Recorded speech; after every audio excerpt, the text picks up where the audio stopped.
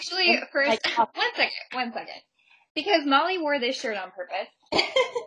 this shirt. I don't know if you can, you know. All right, what's going on here? It's fine. Oh, boy. There's the Duke. I see. I can spot the Duke blue from a mile away. All right. You know, game on. All right, game on, girlfriend. game time, girl.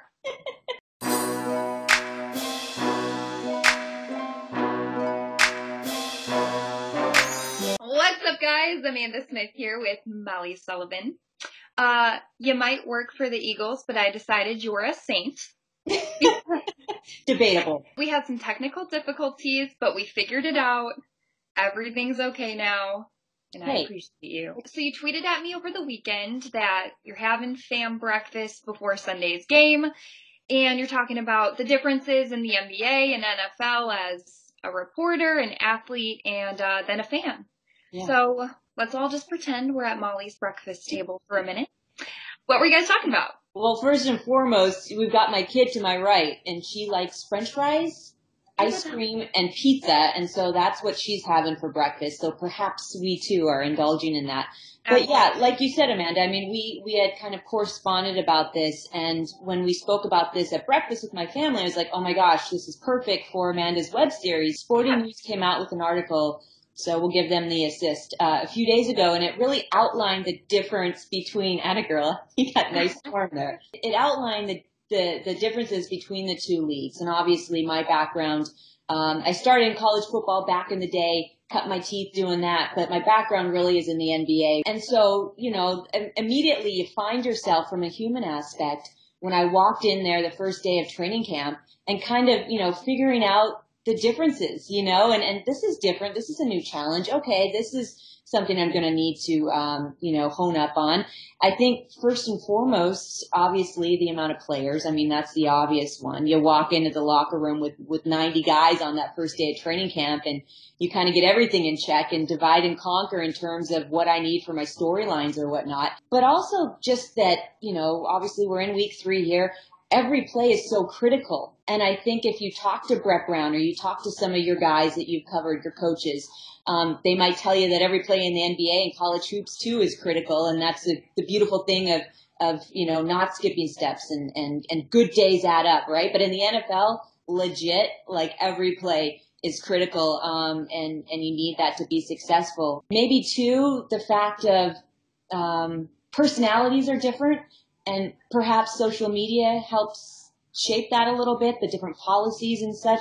Joel Embiid might have a, a, t- a tough time, um, you know, throwing some passes and being a receiver, uh, in the NFL because he likes to tweet up a storm. But I think, and obviously it's, it's much more of a team sport, I think, in the NFL. I'm finding that, you know, obviously you need a, you need a stud quarterback, right? But if you don't have 10 guys around you that can make the plays and, and build out from there, it's a passing league now. Um, we've got Carson Wentz starting in week three here. So I know y'all out here breaking the internet this morning. I know, I know. You need the full team. So those are just some of the things. I don't know. I find it a fascinating conversation. Just Yeah. given my, my, my first love is the NBA and, and now I've really been embraced by, by the world champs. So I don't know. It's just a cool little thing to, to bounce around. Yeah. Would you say that, you know, when you say it's more of a team sport, it's more of a team sport than the NBA or just than you expected? Uh, both. Both. And, you know, it, I don't know. I, I just think in the NBA, and certainly I've covered some good teams and some, some not so good teams, if you want to put it that way. But I did cover last season, um, with the 76ers, you know, they ended the regular season on the longest win streak in NBA history with that 16 game win streak. So I've seen the good, bad, ugly, and everything in between. And I think that, um, at times perhaps the human side of things come up, whether it's these guys are so darn young that they don't know what they don't know and perhaps egos get involved. Uh, in the NFL, there's no time for that. You know, there is no time for, for egos or, or, or whatnot. So I don't know. It'll be something. Perhaps we, we talk again on, uh, on week 10 and see how things have evolved. But right now, that's, that's my first impression. We talked before that you said, you know, Philadelphia Eagles fans are different than 76ers fans. I, I mean, they're the same people. Think about that. They're the same people, but just different expectations. When I walked into the NovaCare complex on day one, which is their practice facility for the Eagles, I was just overwhelmed and, and, and super, not overwhelmed, but maybe a little bit. I mean, it just en- encompassed by all of the energy And, um, you know, they are the world champs and the Sixers aspire to get back to that point. And so not that it's any smoke and mirrors across the street, but the Eagles, they're already at the top. And so now the expectations change and they embrace the target and no longer are they the underdogs, right? Hungry dogs run faster. It's just cool. And, and, and that's as a reporter, you don't necessarily root for teams. You root for the players, right? And, and, um, there's some incredibly cool storylines going on behind the scenes with the Eagles. Yeah. You know, I saw on Twitter today that after Carson Wentz you know, announced that he's coming back. His next tweet was about Nick Foles, mm-hmm. um, and acknowledging him for all he's done. What do you think that that says about the closeness of this group and the bigger picture that they have in mind. Well, it is a fascinating quarterback room, and I can tell you there's no egos. The egos have been checked at the door, and that's why it's worked. And Mike Groh, uh, the offensive coordinator, was was the first guy, I, as coaching member that I met at the NovaCare complex, and um, you know, it's it's just it's it's refreshing to see because um, they owe a lot to Nick Foles, obviously. And so here comes Carson Wentz, and they he is their guy. Um, Doug Pederson said that from day one, the day they drafted him. They knew it. When he's ready to go, he's going to go, and you know, no restrictions, no need to hold back here in week three. Everybody knows their roles, and everybody knows that they they need each other, and it's that accountability factor. It's it's playing for the guy right next to you. And um, that through the Sixer years, when they when they weren't winning, that really was at the core of everything that they did. And Brett Brown was building that culture that the Eagles have right now. And it's it's really just doing things the right way and and and you know putting out honest days work and knowing that they will add up. For the Sixers, they did last year. It's not quite at the point they want to be, and they're going to have to get past Boston to get to that point this season, which I don't know. It's going to be pretty darn tough to do, but the Eagles, look, we um so far so good. With the Sixers, what do you think is missing that they just can't get to the next level of where they need to be? Well, Brett Brown was was very clear that he wanted to go star hunting uh, this past off season. But I think what a lot of people forgot was the second part of that sentence. He said, I want to go star hunting or star developing. They've already got the talent here in Philadelphia and as evidenced uh, by what we've seen across in Camden at the practice facility this off season. A lot of guys checking in to do work. Maybe a, a couple photo shoots in between doing work, uh, but but they're certainly putting up the work and and their form, their mechanics, their body. They pass the eye test. Perhaps they're just missing that superstar, but they've got a lot of talent already, and so it's just cultivating that. Um, it's taken that next step forward, whatever that may be individually. You know, we talked to you before though that as a reporter, you're in this role who is it? That's Aubrey. We love Aubrey. Hey, Aubrey. you're in this role um, where you're working with the 76ers, and then unexpectedly, you move into transitioning in your first year in the NFL. What have you been able to learn uh, just in your career that's put you in a position where you're easily able to adjust? I don't know if it's easy, right? Um, you know, I think it's the stuff champions are made of. And to be a little cliche, you don't know how strong you are until you're in the moment. And if you would have asked me a couple months ago if how I would react to having my contract not renewed, I'd probably say devastated and that um, I love my job, you know, and that I, I couldn't imagine that. But life has a funny way of, of moving you forward and and you know and and that's really where I think I am now. I don't know if if I had the choice, if I would ever leave the 76ers, I would maybe retire with them uh, mm-hmm. uh, from a broadcasting standpoint because I love my job so much. And it's a love for the league. It's a love for the game. Um, it's a respect level for the players and the coaches. And I, and I, um, I don't know if I would have ever left. So here I am now. And so the transition, I don't know if it's been easy, but, um, you take it day by day and, and I've got a two year old daughter and, and really that, helps put everything in check. I'll go back to Philadelphia sports fans. We talked about, you know, the, the differences between the yeah. NBA and NFL there. And, um, you know, I will say that they are the best sports fans in the world in terms of they are incredibly savvy, intelligent. They know their teams. They're loyal. And to have the respect and the trust of, of them, that's really who I work for. Yeah. Um, the people on the other side of the TV. And so to have their respect through this process, that's, I guess what you never want to define the silver lining, but that's what has been so incredibly humbling through this process. and, and where I am today. I'm just, um, I'm grateful to do what I love and to do it with good people. And you do a great job. Well, thank you. Back at you. Of course. I watched that reel. I know I already embarrassed you, got you red in the face the last time, but You an did. incredible job. You can't fake this stuff. Your halftime reports, you listen, you follow up. The players, you know, looking you right in the eye and and and are answering your questions, and so you're well on your way, girlfriend. Holly, you're making it happen again.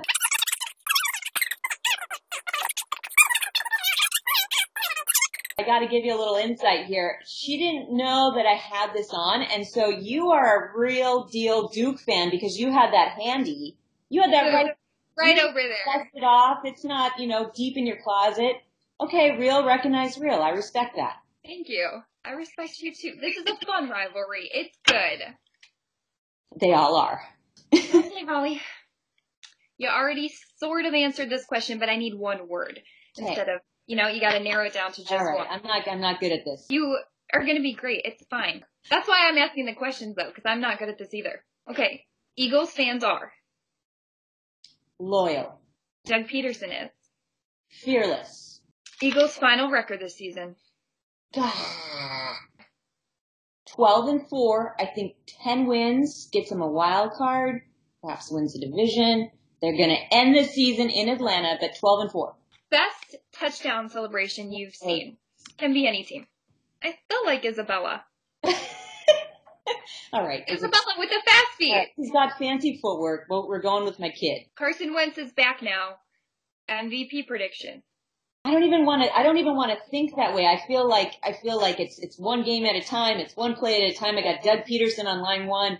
Um, I'm going. I'm going number eleven though. I'm going with Carson. If Philadelphia wins another Super Bowl, Molly, will you burn your car? No, no, and and and and the Eagles fans will not either. And they were so calm, cool, and collected. They're gonna keep like they've been in there. grocery store. Everything's free.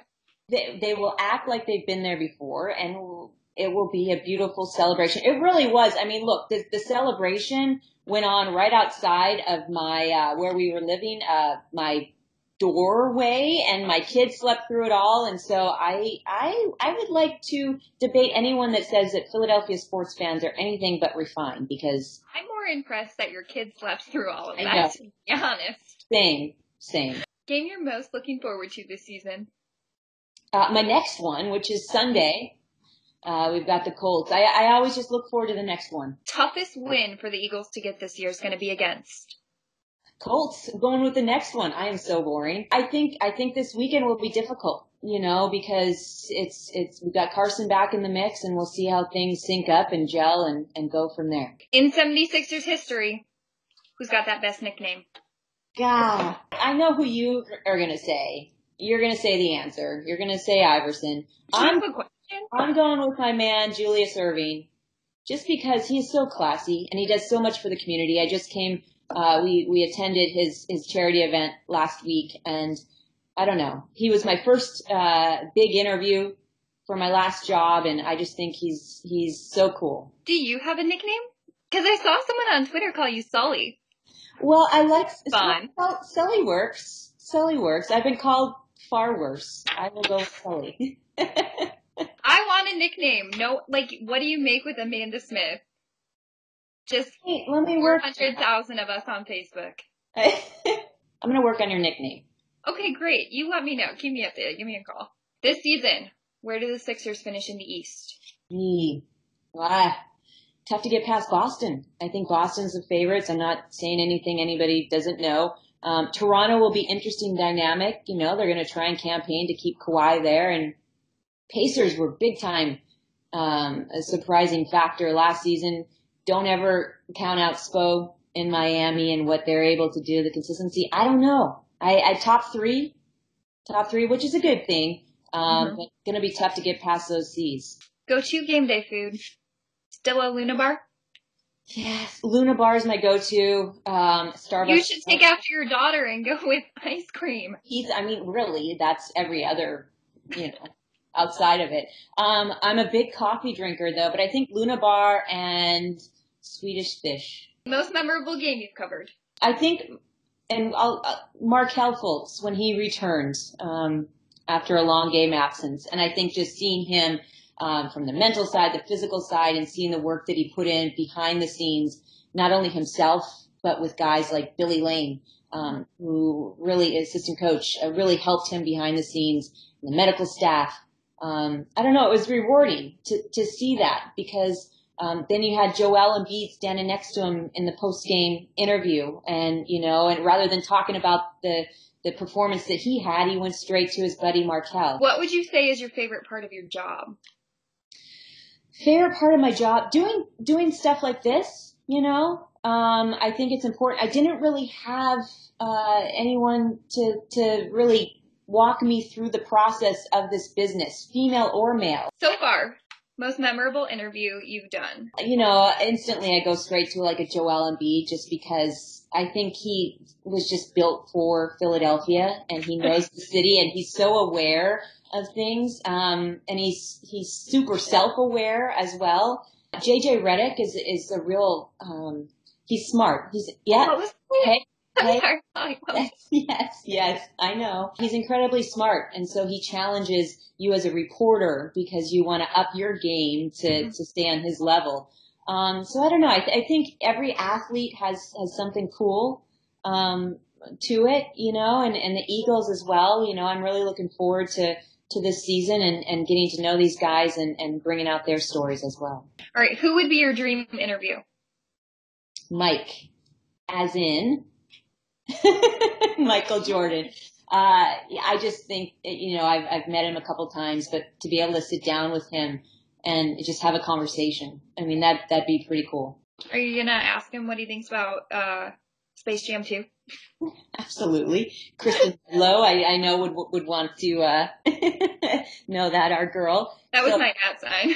Well, I have uh, your favorite team to root for, but we already know what that is. Because thanks for the shirt once again. Okay, we see you on TV. What's something we wouldn't know about you? I am a little borderline OCD. After the birth of my daughter, I think a lot of those tendencies get thrown out the window. Yep. Things like germaphobe or counting things or whatever, organizing.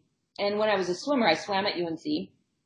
Uh, and, you know, I kind of thought that I was just superstitious that, you know, that kind of a realm. I don't know. Maybe that I, was, I used to be a borderline OCD a little bit.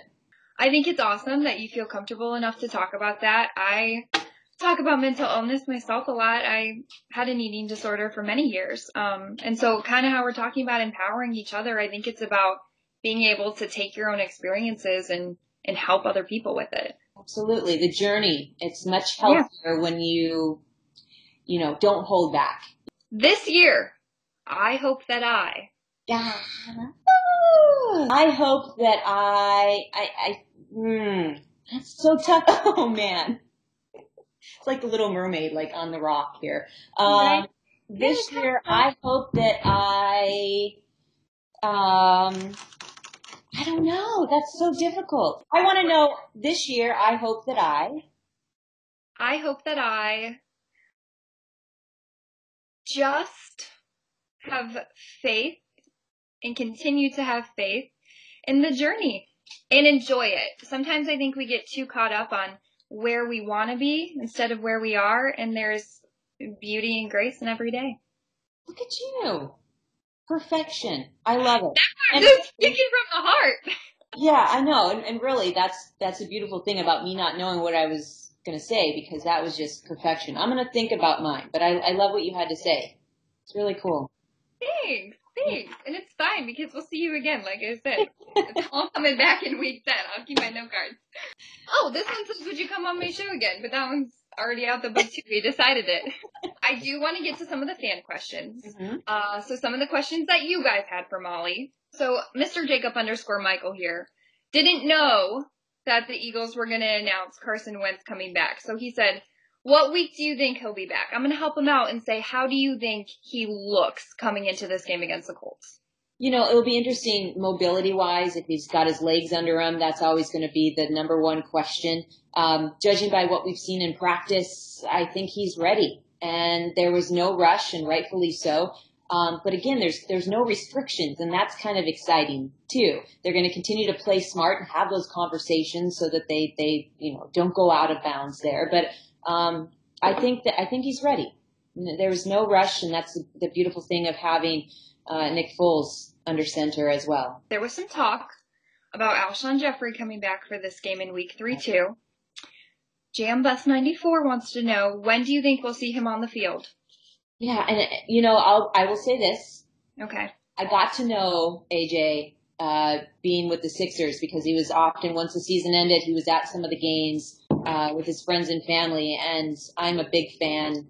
To be fair, and I just think that he goes about things with such a professional uh, manner, and to see him really attack this rehab in the same way, and to see that now in the trenches on that side, um, is cool to see. I, I don't know if he's going to be back week three. Doug Pederson said this morning that it's, it's week to week, which tells me um, maybe not week three.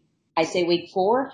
But hey, anything can happen, and if, and if anybody can get back on the field, it would be AJ for sure. Okay, fantasy footballers, take note. Sam Robert Wank wants to know: Do you think any future bowl victory could be as sweet as the first? Absolutely everything is sweet. Um, and I think that they can do it. Stack them up. Stack them up. 13 years you've been working in television. How about some advice?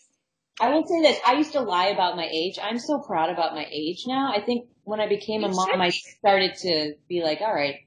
But you know what I'm saying? Like, I would lie about my age. You didn't ask this, but side note, I would lie about my age so much. My family will back me up on this. I had no clue how old I was because I would lie. Yeah, but now I, I feel like once you become a mom, you're like, okay, I'm proud. I'm a cool mom. Or you I, are a cool mom. I think I am. You're hip. I try to be. When's your birthday? August 27th.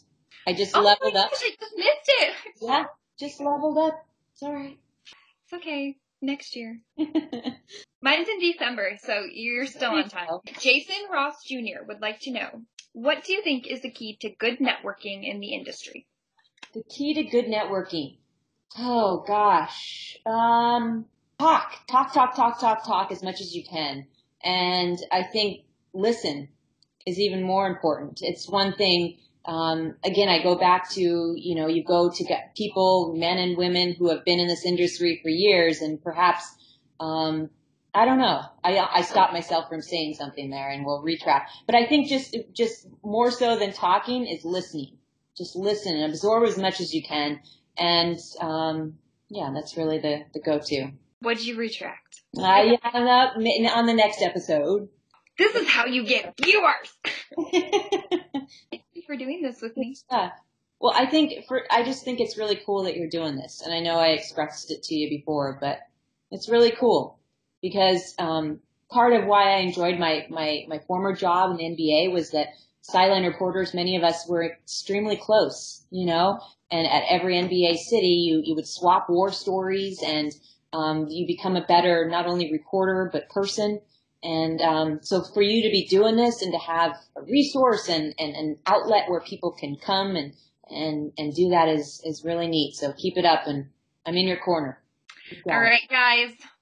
For your girl Amanda Smith and your girl Molly Sullivan. Thanks for hanging out with us.